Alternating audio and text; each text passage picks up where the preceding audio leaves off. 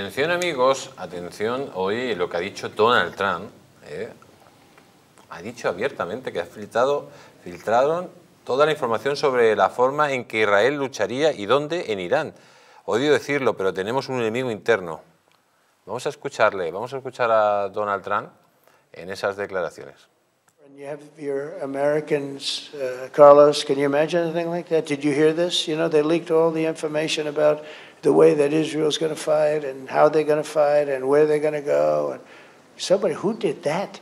Can you imagine somebody doing that? That's that's the enemy. I guess that maybe is the enemy from within. As I talk about, we have an enemy from within. They hate to talk about it. Eh, señor Simón, está hablando Donald Trump abiertamente de que el gobierno de Biden está traicionando a su, su supuesto aliado, que es Israel. Bueno, es que eh, aquí pasa una cosa. Hoy, creo que ha sido hoy, Kamala Harris ha llamado a Trump eh, nazi. Pero vamos, con todo el morro del mundo. Eh, claro, que llamar nazi cuando tú a tus... Yo creo que lo, que, que lo, que lo ha dicho bien claro. O estás en este mundo ya, en este mundo desgraciado en el que vivimos, o estás de un lado o estás de otro. Cuando o tú estás del lado de Hezbollah o estás del lado de una democracia como es la de Israel, porque aquí mm, todo el mundo o mucha gente, muchos pseudo progres están criticando a Israel, ¿por qué? ¿Por qué? Por defenderse.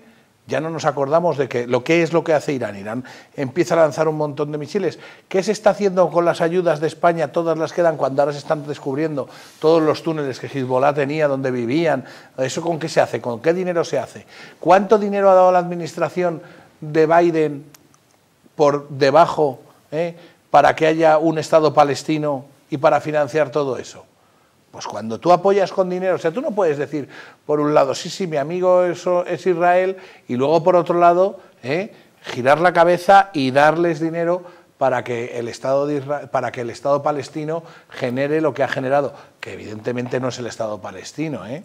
es, la, eh, es la ETA palestina, que quede, que quede bien claro, y no es Irán, ¿eh? no es que haya un político en Irán que democráticamente haya decidido, no, no, no, no, son terroristas, son terroristas. Cuando están dejando que Irán eh, eh, empiece con el tema nuclear, han girado la cabeza, han girado la cabeza. Entonces, hombre, pues eh, al el fondo Trump lo que está diciendo tiene, tiene mucha sensatez, como muchas de las cosas que dice. Lo que pasa es que, claro, como aquí las televisiones, en lugar de sacar las cosas que dice, solo sacan eh, la, anécdota, porque es la anécdota la que sacan, en lugar de decir, vamos a ver el discurso y a ver qué narices dice, pues nada.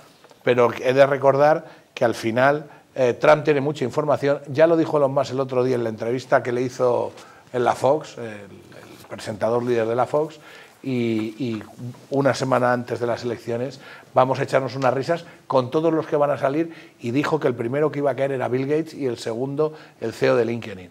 A ver a dónde ha ido el dinero de esa gente y, y con, qué, y con qué personas se han ido acostando o no.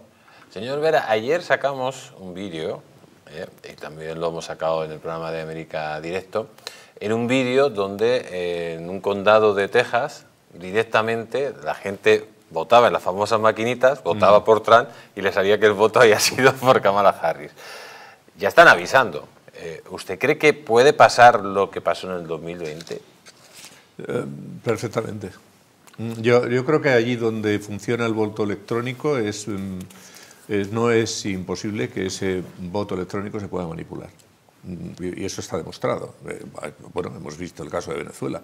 Pero es que mm, eh, los países que intentaron el voto electrónico no está establecido en todos Estados Unidos, pero sí en algunos estados que curiosamente fueron los estados en donde hubo polémica. ¿no?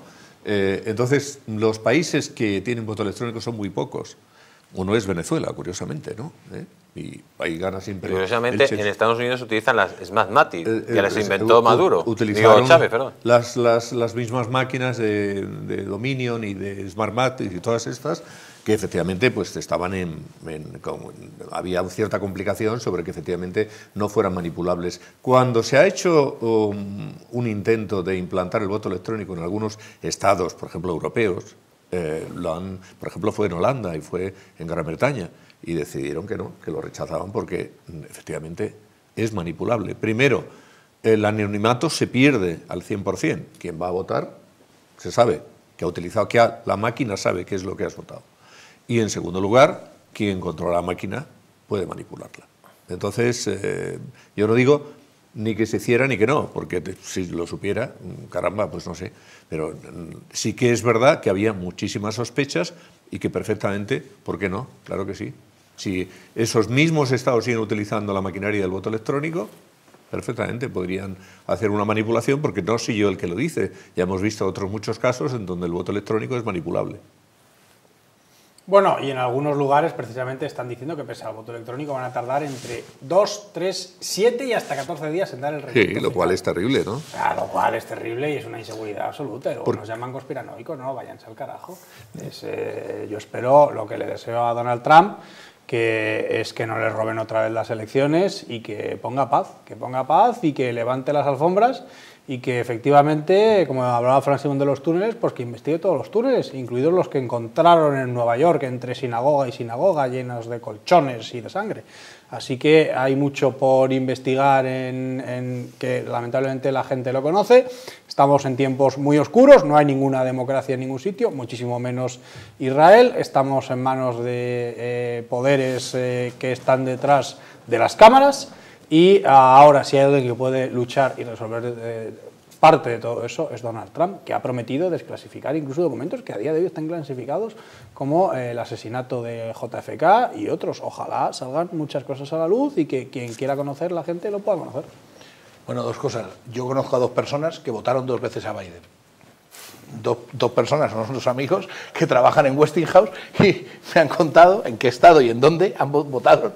Se fueron, votaron a Biden, se fueron del colegio, se fueron a tomar unas cervezas y dijeron, venga, a ver, vamos a ver si podemos votar otra vez a Biden. Y le fueron le votaron. Y sus votos fueron admitidos y eso a modo de anécdota. Os puedo decir nombres, apellidos y ya digo, ¿y en qué, pres- en qué empresa trabajan?